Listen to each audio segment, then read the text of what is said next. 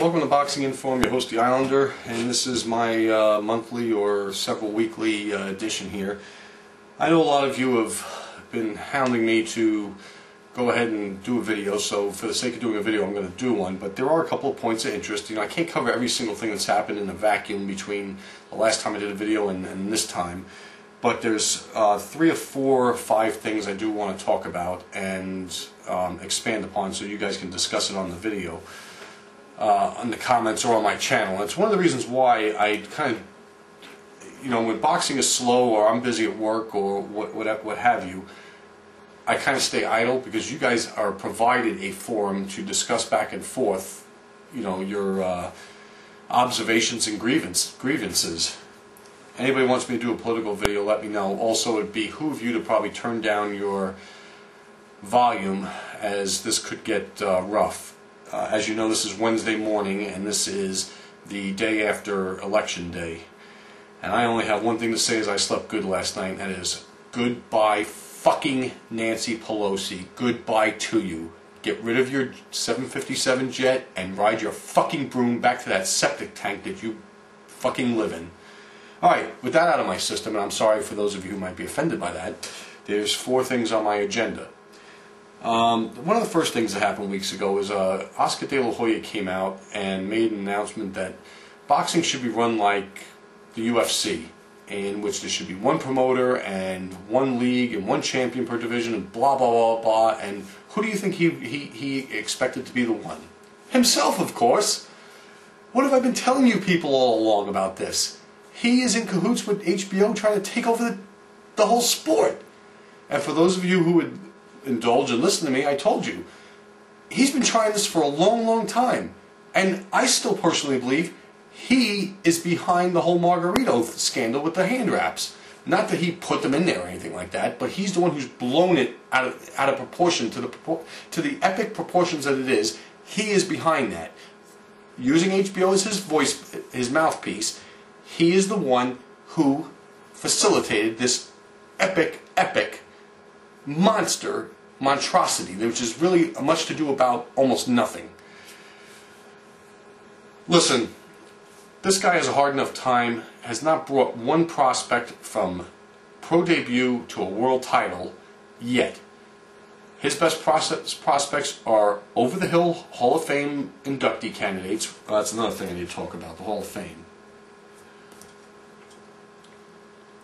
Himself, Mosley, and Hopkins to guys he's stolen away from top rank, Victor Ortiz, uh, to Neville Wilbys or, or fighters that are just protected, you know, that Arizon, Erislandy Lara is the real McCoy. I will say that.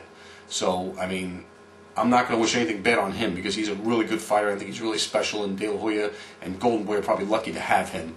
But the thing is, what people don't understand about, about this whole thing, and De La Hoya obviously doesn't because he's just barely a high school graduate, is that boxing is not like the MMA. Boxing is not like the UFC, which is part of MMA.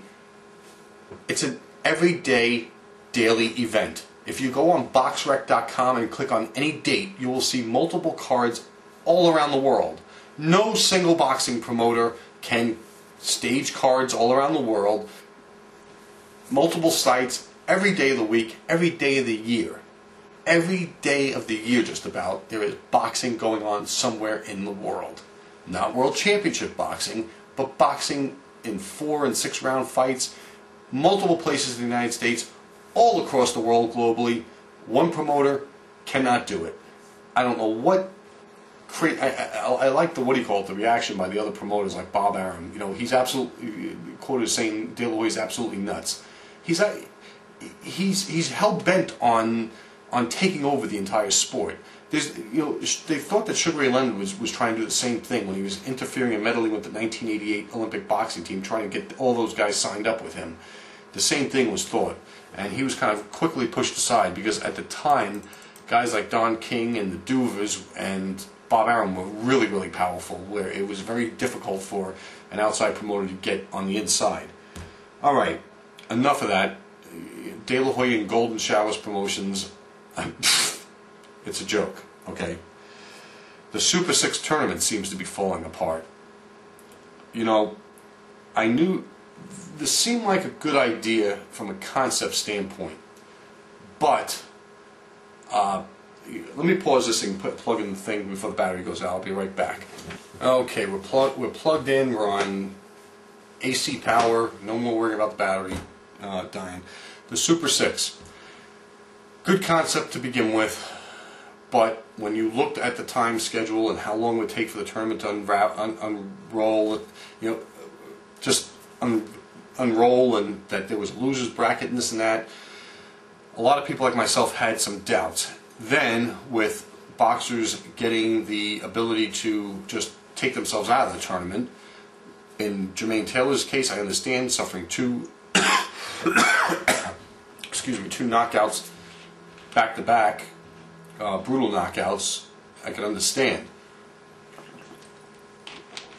But Mikkel Kessler deciding he loses his first fight to Andre Ward, then squeaks by uh, Carl Froch in a rematch, decides, you know, I'm not going to be subjected to, you know, one of these matchups again, and I'm going to take myself out and I'll fight the winner of the tournament.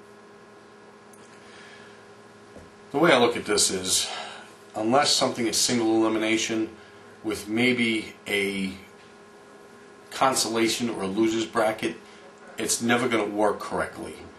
And with that said, this tournament's in jeopardy now. I, I, nobody will explain to me why Andre Ward is going to get to fight three straight fights in, in the comfy confines of Northern California. When I saw Carl Froch fight a fight at home, then he went to Denmark. Mikkel Kessler fought the first fight, his first fight with Andre Ward on the road, then got a home match.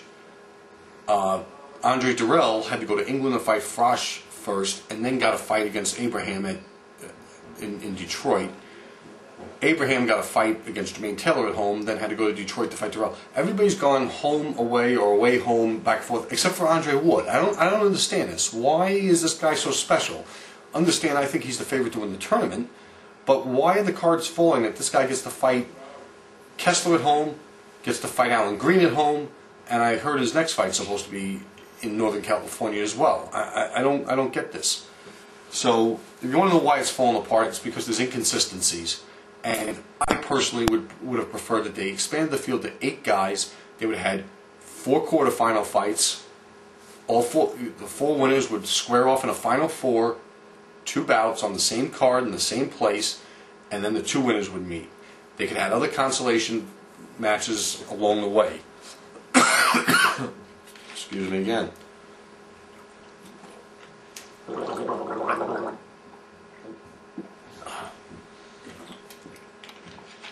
In any event, the bantamweight uh, tournament that's being held in uh, Mexico, I'll talk more about in December. Four guys, two separate fights. The two winners meet, the two losers meet, and basically the winners of those last bouts are going to meet again after the tournament's over. Solid. ESPN, as well as the Inglewood or Great Western Forum back in the 80s and the early 90s, used to run a tournament for a weight class. As a matter of fact, to give you a good example of this, the junior welterweight division had a tournament, it had nothing to do with ESPN, it was just strictly the Great Western Forum, in which they had eight guys, they had four bouts, then they had two, then they had a championship bout. There were upsets along the way, there were surprises, there was, you know, some, a little bit of controversy, but in the end, Sammy Fuentes of Puerto Rico ended up fighting Rodolfo Aguilar of Panama in the final, and Sammy Fuentes, in an upset, won the whole tournament. What did he get for winning the tournament? He got himself a shot at Julio Cesar Chavez's WBC super lightweight title, in which he fought very well in the fight before being stopped in the 10th round. But that is the way tournaments and boxing should work. I know they're trying to find a successor for Joe Calzaghe, but when the best won't fight the best, and they were scheduled to fight the best, the whole thing is, is falling apart, in my opinion. And that's that's what I think. You know, putting um, Glenn Koff Johnson in, in the mix, uh, you know, with Dirrell out because of injury and this and that, or you know, whatever happened to his, his, his, his brain from that shot he took from Arthur Abraham, a good idea. But again, now you've got guys who are capable of losing just about any time out, like Johnson and Allan Green that it diminishes the accomplishments of the Kesslers or the uh, Abrahams or the Frochs of the world, and that's just my opinion. I think the, the, the tournament's shot right now. Then we had a significant heavyweight bout in Germany uh, two weeks ago in which Shannon Briggs promised to make uh, Vitaly Klitschko fight. And Vitaly Klitschko pitched a shutout over him. And I will say this, that is one of the more frightening beatings I've ever seen somebody take. But, with this said, Shannon Briggs is one tough mother. Uh, probably too tough for his own good. And I was amazed at the amount of punishment he was able to take and stay on his feet and, and still at, at least appear to be competitive even though he wasn't. Um, there was always the chance that he'd land a lucky punch. I mean, even as I was watching, I didn't think it was going to happen, but, you know, all it took was the Hail Mary, the Sunday punch, and, and you know, he was still trying for them in the, in the last round as Klitschko was trying to knock him out. Uh, it was a terrible fight. Um, but it was terrible because one person's skill level was vastly superior to the other, and the person who had inferior skill set had a ton of heart, a ton of determination, and a ton of toughness that will never, ever be questioned. That is one of the things about Shannon Briggs is that when he was coming up, there were questions about his heart, questions about his desire. He was deemed the next Muhammad Ali because he was charismatic and this, this and that. A lot of people forgot he gave Lennox Lewis one hell of a fight. I mean, gave Lennox Lewis hell for five rounds before he finally collapsed out of exhaustion. Uh, will this be probably the last significant fight of Shannon Briggs' career? Probably not, because I think that, you know, somehow he'll probably manage to get himself a fight with, with Vladimir Klitschko eventually. And I, I think he deserves I, I think in some ways if he fights a couple of contenders and beats them, he deserves it. Um, that's just me.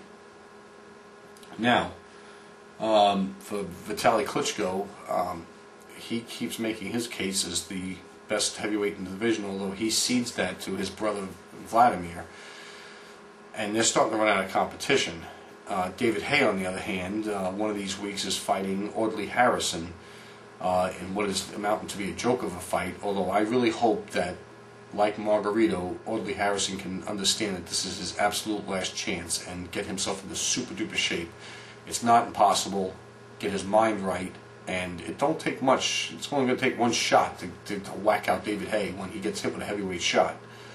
So uh, it'll be interesting while it lasts, but you know I expect David Haye to win that fight. Now I turn my attention to the Hall of Fame ballots out, and like baseball and other sports, a boxer has to be inactive for five years in order to be eligible. And this year's, in 2011, this year's ballot's going to contain Mike Tyson and Julio Cesar Chavez, as well as Kostya Tszyu. I can't believe it's been five years already since Ricky Hatton put the, the whammy on Kostya Tszyu. But uh, it's, I think all three of them, I, I know Julio Cesar Chavez, without question, is Hall of Fame material. Kostya Tszyu, yeah, probably. I mean, he, you know, undisputed junior welterweight champion. His record in world title fights. He only lost two fights total in his career. Uh, his skill set vastly underrated. Vastly underrated skill set that guy had. I thought for sure when he fought Zab Judah, I thought for sure he was done. That he was going to get absolutely laid to waste. And the first round, it looked like all my predictions in my mind had come true. But his skill set leveled the playing field in the second round until he exposed Zab Judah for who Zab Judah was. And that is probably the, if you want to take the, the dichotomy or the uh, a cross section of Zab Judah's career, that would probably be one of the best fights because he wasn't the greatest technician of all time and he wasn't the greatest boxer of all time, but he had a vastly underrated skill set that was shown in that fight where he was outgunned in the first round and totally leveled the playing field in the second round before scoring a stoppage.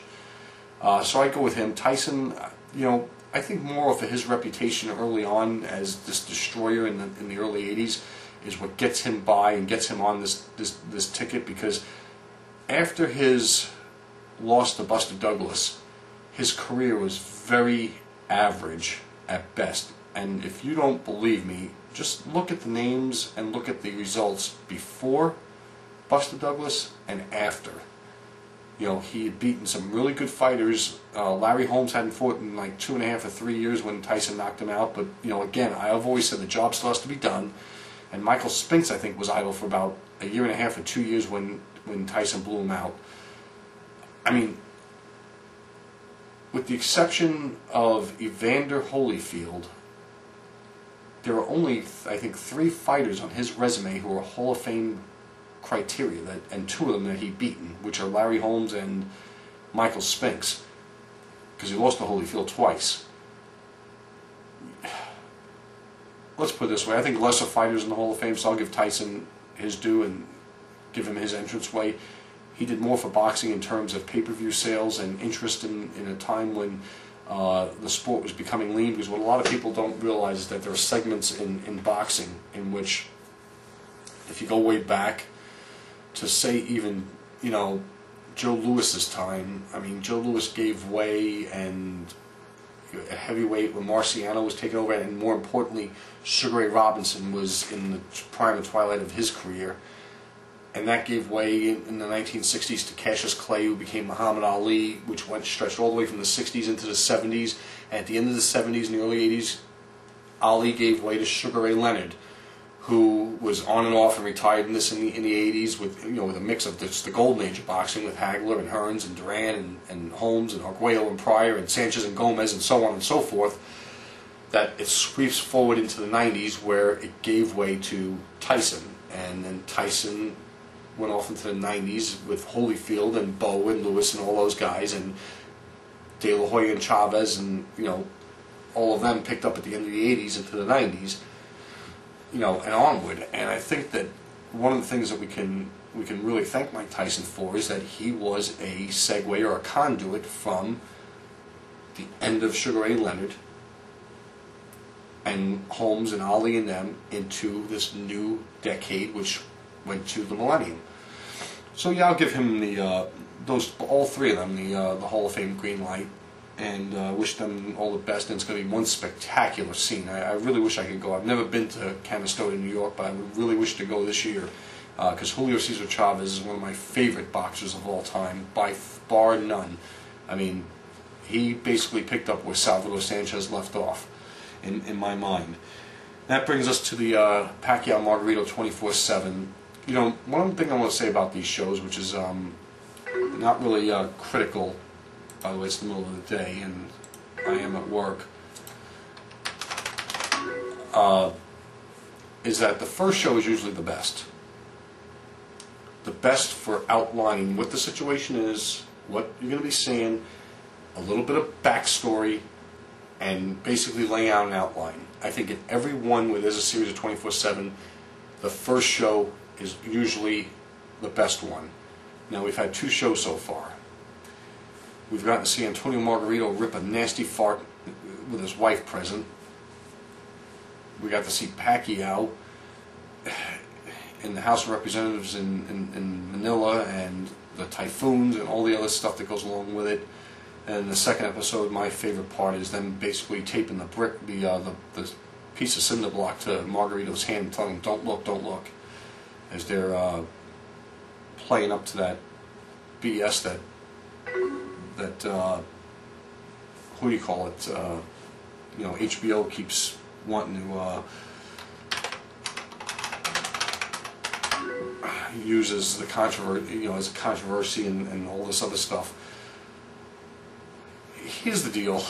You know, a lot of people playing up this thing that Pacquiao's not in the best shape, not ready, he's distracted, this and that. I think even at 50 to 75% Pacquiao will still probably win this fight. I think Margarito, on the other hand, is reminding me of a. There's there's some situations in boxing where we've written guys off before and said that they're too old, they're too beat up, they've got too many miles on them, just cast them aside. In 1983, Roberto Duran was coming off of absolutely the lowest part of his career. He had quit against Sugar Ray Leonard like uh, two and a half years earlier, a little, a little more than two years earlier, at the end of 1980, in the No Mas fight. He had moved up to junior middleweight and looked terrible in two, in two fights there before being nearly embarrassed by Wilfred Benitez over 15 rounds of a fight he clearly lost. And then, the worst of worst, he in 19 in September 1982 he fought a, I guess a, a journeyman Englishman named Kirkland Laing on ESPN in Detroit, and was outboxed, out hustled, and lost a 10 round decision to this relative nobody. He was written off, left for dead. There was an opportunity in coming forward in 1983 to fight two fights back to back for himself. One against former welterweight champion Pipino Cuevas in Los Angeles at the uh, Olympic Auditorium, which was going to be a massive venue with the Mexicans coming out to support Cuevas. And then the winner would get a shot against Davey Moore, the WBA champion of the 154 pound division, who only had like eight fights, but was a massive puncher and had a lack of experience. Duran got himself into the absolute best shape of his life to duke it out mano a mano with Pipino Cuevas and stop Cuevas.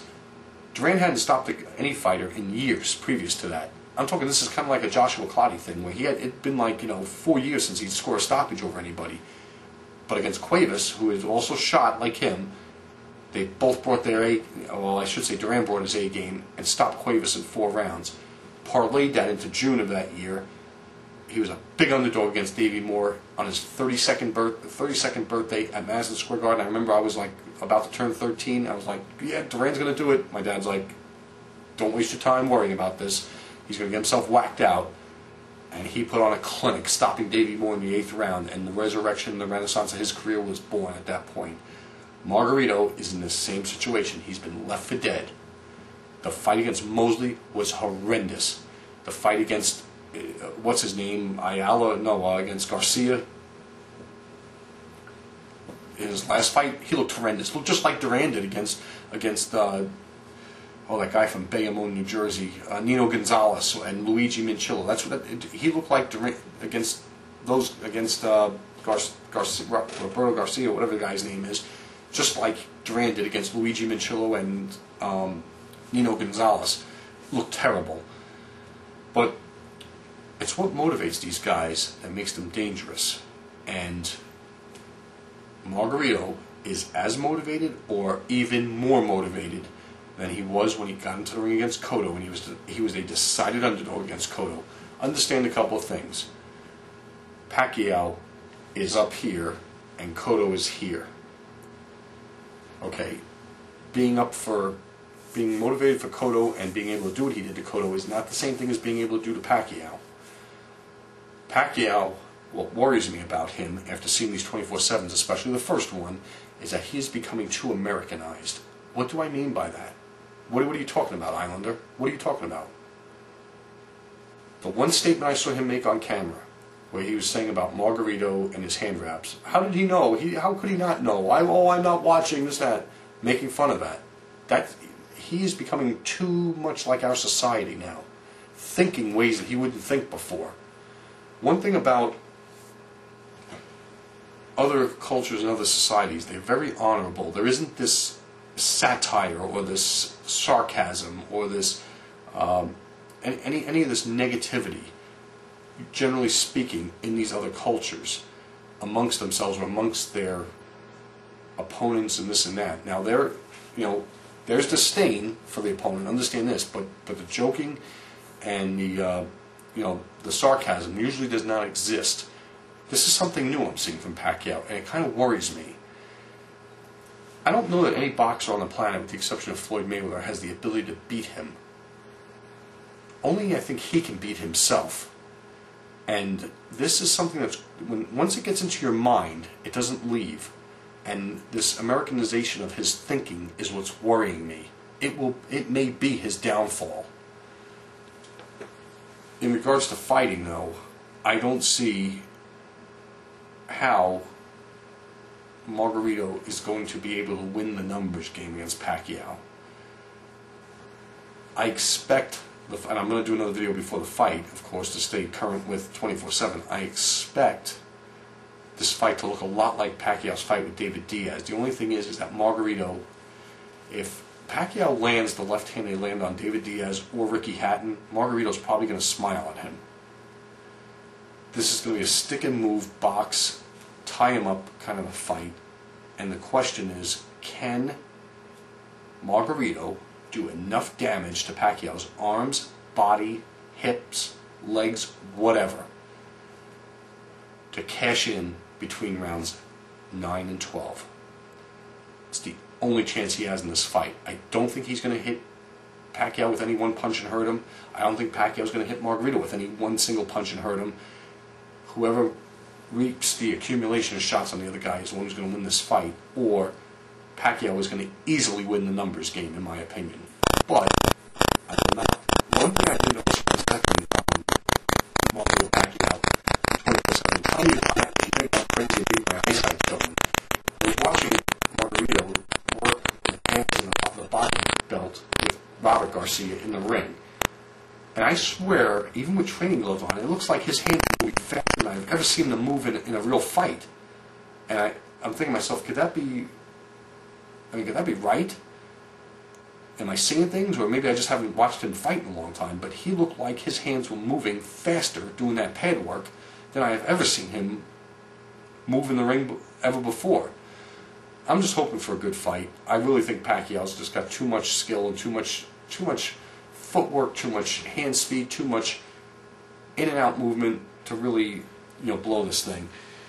I'm going to try to get another. Um, I'm trying to think of what's coming up this weekend. I ought to look real quick uh, to see on the schedule. To see what I need to preview. Oh, another little thing. Uh, this uh, Hector Macho Camacho Jr. iced in one round by Lemieux in Montreal.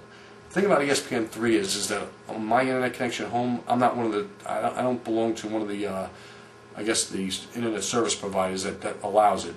So I, I've got to go somewhere else to see it if I want to see on something on ESPN3.com.